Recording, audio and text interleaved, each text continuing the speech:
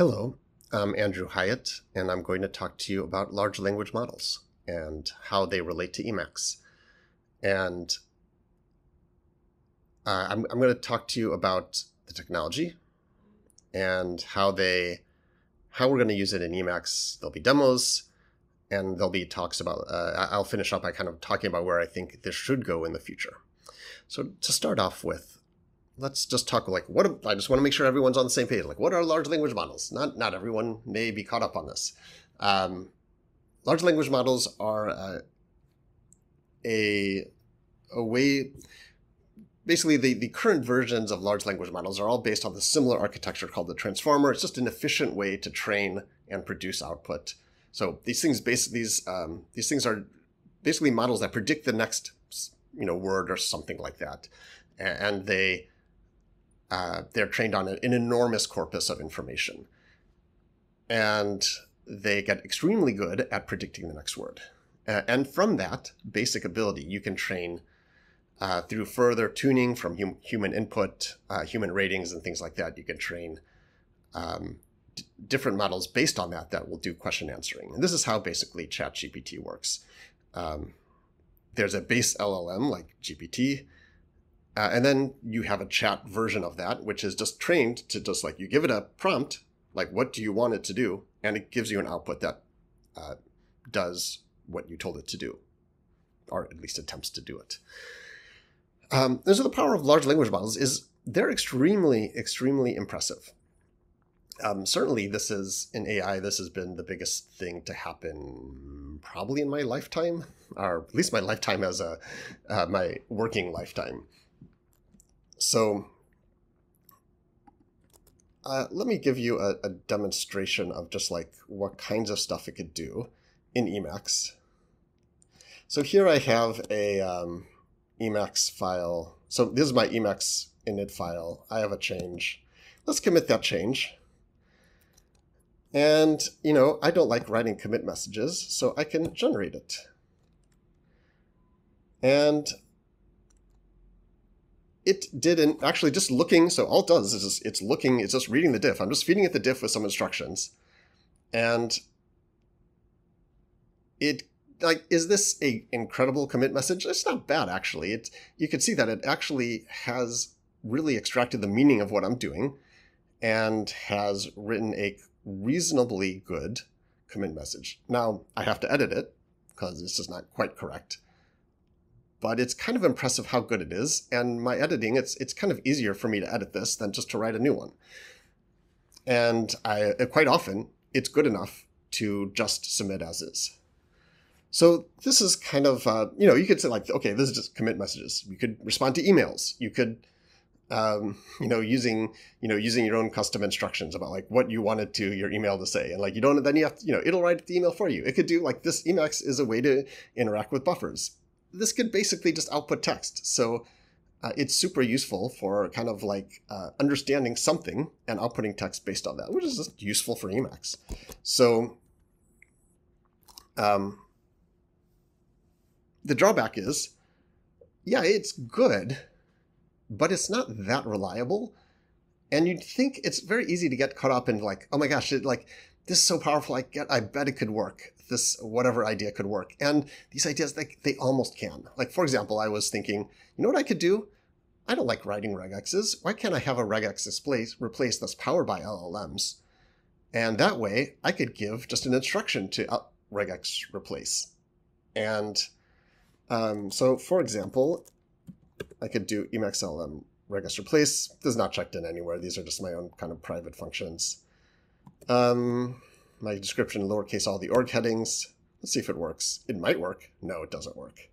So if I, I'm not going to bother to show you what it actually came up with, but it's something, if you looked at it, you'd be like, wow, it's, this is very close to being like, it looks like it should work, but it doesn't.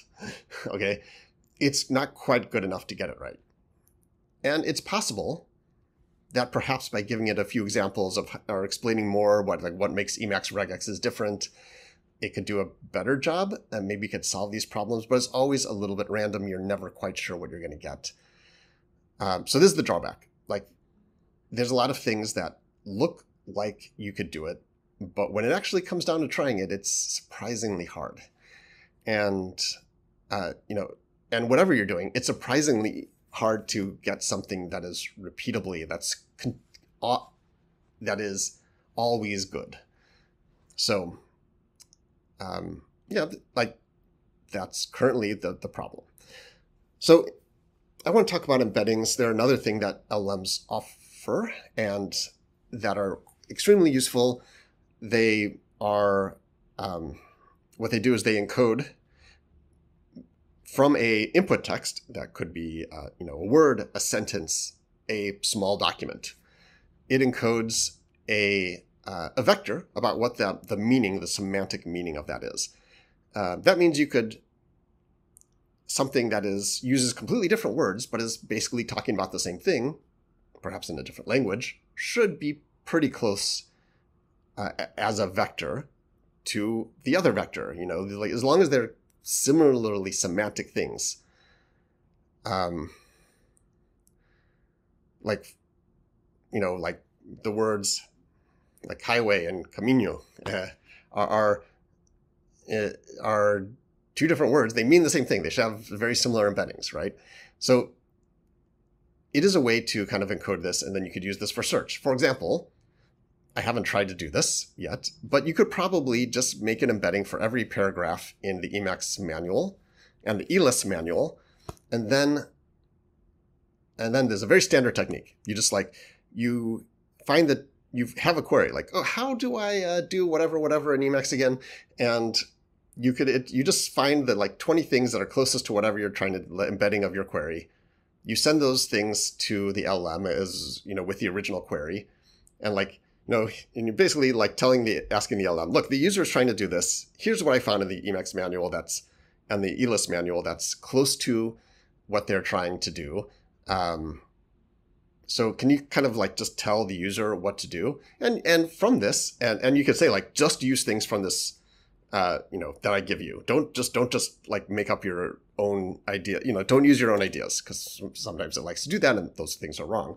So you could try to you know do this, and you get uh, you could get quite good results using this. So no one no one has done this yet, but like that should not be hard to do. Uh, image generation is something that's you know it's not quite an LLM in the sense of uh, these are it's a different technology, uh, but these things are kind of packaged together in a sense, and and you'll see that when I talk about Emacs packages, a lot of them bundle image generation and large language models. Um, you know, the, the APIs are often bundled together by providers. And the general idea is it's kind of similar because it's very similar to large, uh, you know, doing a chat thing where you, you know, the chat is like you give it a a text request like write me a sonnet about you know the battle between Emacs and VI, and it could it could do it. It could do a very good job of that. But um, you could also say, you know, draw me a picture of Emacs and VI uh, as boxers, uh, as a character character boxing in a ring, like a you know political cartoon style, and it can do that as well. And so like you could basically think of this as just sort of like it's kind of the same thing with as you the you know what you're doing with large language models, but instead of outputting a text, you're outputting a picture. Uh, there's also I want to mention the concept of fine tuning. Fine tuning is a way to take your uh, take a corpus of inputs and outputs, and just from a large language model, you're like, okay, given this base large language model, I want to make sure that when I give you input, you give me something like output. And this is what I'm just going to train you further on these um, these mappings between input and output. And for example, you could do this. Like, let's say you wanted to fix that regex demo I had to make it good. Uh, I don't think it. I, I, think it'd be relatively effective to train to have regex uh, descriptions and regex examples, Emacs regex examples as inputs and outputs, you could get um, you know maybe a hundred, a few hundreds of these things. You could train it. Um, I think that is a reasonable way to. Let's just say I don't know if that how well it would work, but these things definitely work some of the time and produce pretty good results. Uh, and and you could do this on your own machine. Um, corporations like OpenAI offer APIs with to, you know to build your fine tunes on top of OpenAI. And I think I'm not 100% sure, but I think then you can share your model with other people. But if not, then you just you know you could use your model for your own specialized purposes. Um, but in the world of like models that you could run, for example, based on Llama, which is like Llama is this uh, model you can run on your own machine from uh, Meta. It um, there's many fine-tuned models that you could download and you could run on your own like you know there are they do very different things too. Like some output python programs for example that you could just run. Mm, so you just say like you know i i you know tell me how old you know let's just say you have a random task like you know tell me how old um, these five cities are in minutes like based on historical evidence I don't know, it's kind of a weird query but like it probably can figure it could probably run that for you. Like it'll encode its knowledge into what the Python program, then use the Python program to do the correct calculations. Um, and so pretty pretty useful stuff. So I also want to mention um, open source um, and basically free software here.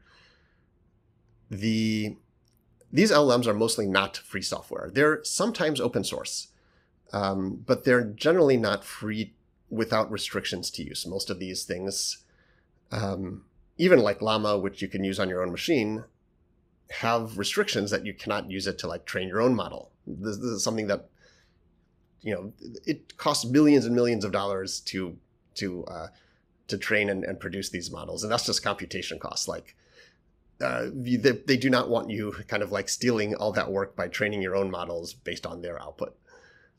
Um, but there are research um, uh, LLMs that do, I believe, conform to free software principles. They're just not as good yet, and uh, I think that might change in the future. So, speaking of the future, uh, one of the things I'd like to point out is that like the demos I showed you are based on I'm using OpenAI 3.5 model. That's like more than uh, uh, well, no, it's like a year old basically at this point, and things are moving fast. They came out with four. Four is significantly better. I don't have access to it, um, because even though I'm using the AI, um, the API, and I'm paying money for it, you only can get access to 4.0 if you can spend a dollar. And I've never been able to spend use so much API use that I've spent a dollar.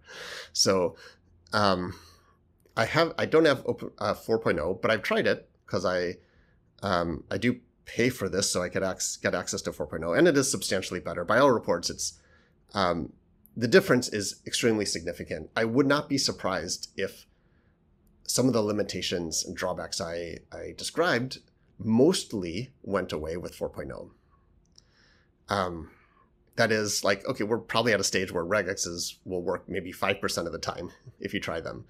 Uh, but with 4, 4.0, it could work like 80% of the time. Now, is that good enough? Like, eh, probably not. But uh, it, it's a, I wouldn't be surprised if you got results like that. And, you know, in a year's time, in two years' time, uh, no one knows how, how much this is going to play out before progress stalls. But there are a lot of uh, interesting research. I don't think, research wise, I don't think things have slowed down. Uh, you're still seeing a lot of advances you're still seeing a lot of models coming out and that will come out. That will be uh, you know each one one upping the other one in terms of quality. Um, so it'll be really interesting to see how this all plays out. But like so i think that message here is that like we're at the beginning here. Uh, this is why i think this talk is important and I, I think this is why we should be paying attention to this stuff. So let's talk about the uh, existing packages. Um, and because there's a lot out there, people have, uh, I think that people have been integrating with these LMs uh, that often have a relatively easy to use API. So it's kind of natural that people have already put out a lot of packages and coming at this problem from a lot of different angles. I, I don't have time to go through all of these packages. These are great packages, though. I, if you're not familiar with them, please check them out.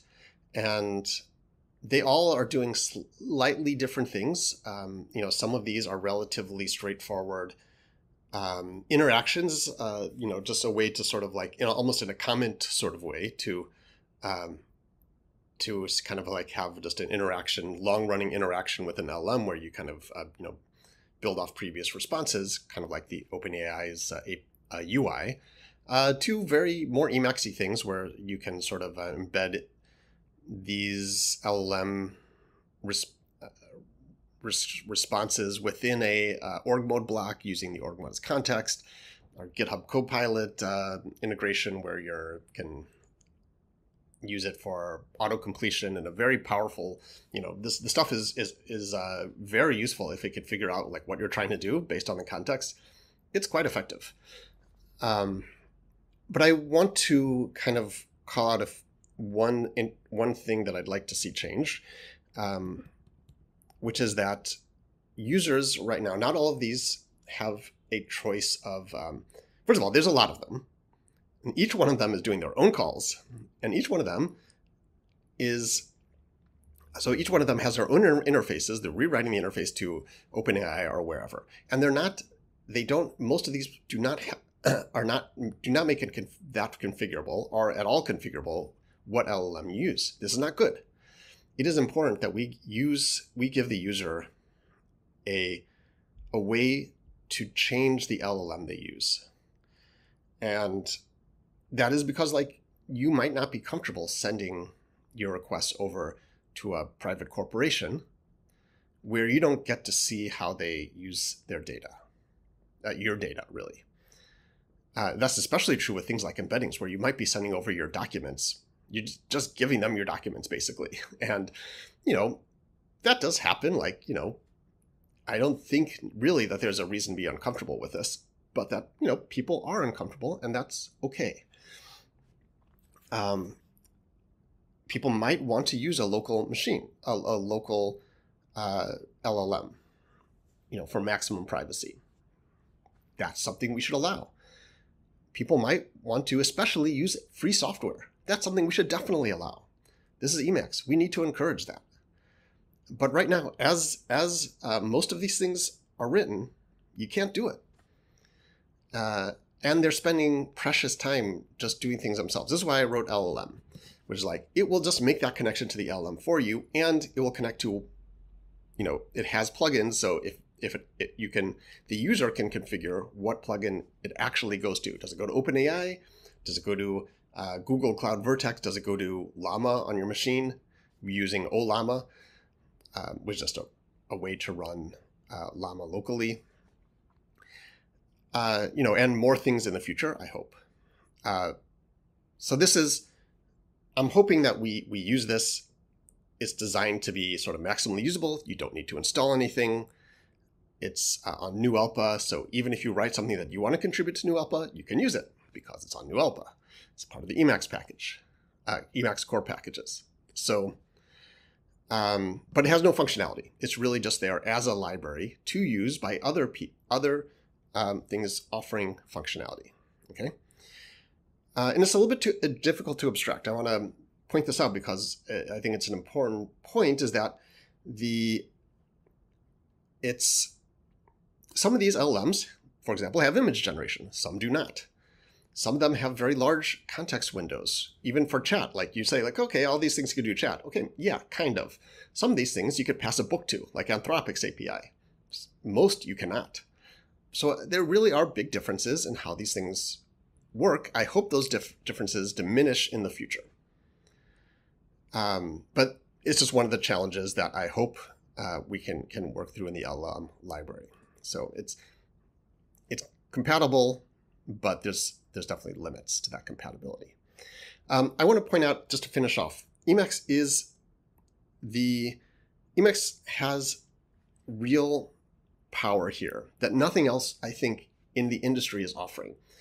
First of all, people that use Emacs tend to do a lot of things in Emacs. We have our to-dos in Emacs with org mode. We have mail. We, you know, we might read email and we might and, and respond to email in Emacs. We might have notes in Emacs. Um, this is very powerful. Using like, there's not other stuff like that, and you could feed this stuff to an LM. You could do interesting things using a combination of all this data. No one else could do this. We need to start thinking about it. Secondly, Emacs can execute commands. This might be a bad idea. This might be how the robots take over, but you could have the LMs respond with Emacs commands and run those Emacs commands and tell the LM the response and have it do things as your agent in the editor. I think we need to explore ideas like this. And I think we need to share these ideas and we need to make sure that we're pushing the envelope for Emacs and actually, you know, doing things, sharing ideas, sharing progress, and, and kind of seeing how far we can push this stuff. Um, let's really help Emacs out uh, be sort of take advantage of this super powerful uh, technique. Thank you for listening.